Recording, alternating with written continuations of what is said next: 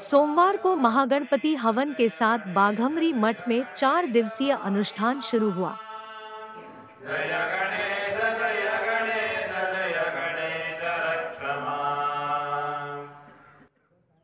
मठ बाघमरी गद्दी के पीठाधीश्वर बलवीर गिरी महाराज ने बताया कि 26 जनवरी को माँ सरस्वती, माँ बागेश्वरी, गुरु निरंजन देव कार्तिकेय स्वामी की मूर्ति की प्राण प्रतिष्ठा की जाएगी।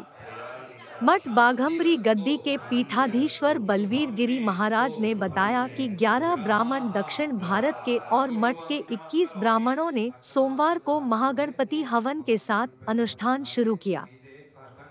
आज मठ बागम्बरी गद्दी में यहाँ माताओं की स्थापना होने वाली है। उसी का आज अनुष्ठान शुरू हुआ है, जिसमें आजकल विशेषकर महागणपति हवन किया गया रक्षोगन हवन किया गया इसके बाद प्रकार शुद्धि पूजन हुआ। वहीं सांध्यकालीन पूजन में वास्तु पूजन, रक्षोहन वहन, बलिदान पूजन किया गया। महंत ने बताया कि मंगलवार को विम परिग्रह और दुर्गा हवन होगा। साथ ही सांध्यकालीन पूजन में विम शुद्धि और अधिवास पूजन होगा। इस अनुष्ठान में 11 ब्राह्मण दक्षिण भारत के और 21 ब्राह्मण मठ के पूजन में शामिल है। बलवीर गिरी महाराज ने बताया कि मठ परिसर में इसमें अष्टभुजा माँ दुर्गा और भगवान कार्तिकेय स्वामी की प्राण प्रतिष्ठा के लिए अनुष्ठान शुरू किया गया है। 26 जनवरी को विशेष आयोजन में दूर दूर से साधु संत शामिल होंगे। इस मौके पर विशाल भंडारा भी लगाया जाएगा।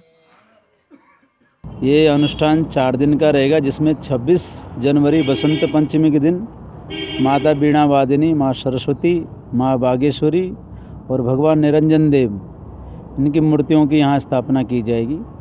इस तरीके से ये अनुष्ठान शुरू हो गया जो माघ मास में, कल्पवास में चल रहा है।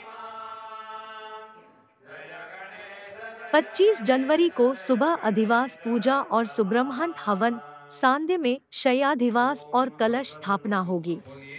इसके अलावा 26 जनवरी बसंत पंचमी के दिन प्राण प्रतिष्ठा प्रतिष्ठा अधिवास हवन, कला तत्व हवन, कलश अभिषेक और महापूजन होगा। शाम को भंडारा लगाया जाएगा।